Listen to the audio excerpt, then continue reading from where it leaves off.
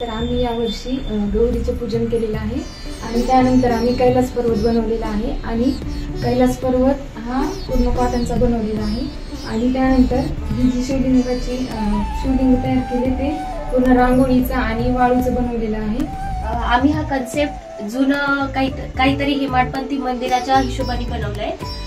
तर ह्याप्रमाणे हे जे पोल्स दिसत आहेत हे आम्ही कोरीव काम करून बनवलेले आहेत.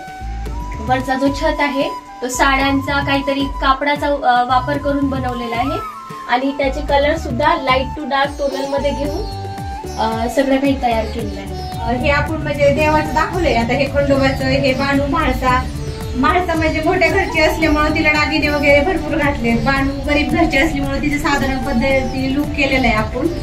ती पलीकडची आहे ती भंडारा उधळताना दाखवली. ही अलीकडची चौकावरती पानाचा इडा मांडताना हे लंगर वगैरे ही अशी पूजा मांडली आपण सगळी व्यवस्थित मी महालक्ष्मी मंदिर कोल- कोल्हापूरचे महालक्ष्मी मंदिर ही थीम केलेली आहे.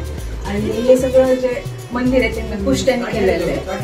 पुष्ट्याचा वापर करून त्याला कलरिंग केले आणि पुढे गायमुख केलेलं आहे. त्यातून पाणी सोडलंय. साडी आपली ब्राह्मणी साडी घातलेली आहे. आणि मध्ये आहे ती महालक्ष्मी. आठ ते दहा दिवस लागले मला पूर्ण करायला आणि बसवायला दोन दिवस.